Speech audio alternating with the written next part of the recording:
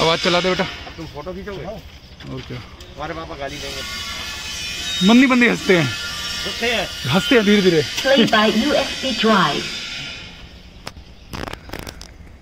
Fresh में ताज़ा सब्ज़ी और फ्रूट सब्ज़ी और फ्रूट सब्ज़ी और फ्रूट सब्ज़ी और फ्रूट सब्ज़ी और फ्रूट आइए चौधरी साहब, आइए भाई साहब, आइए माता जी गाड़ी के पास चले आइए और आपकी सेहत के लिए फ़ायदेमंद इस मौसम का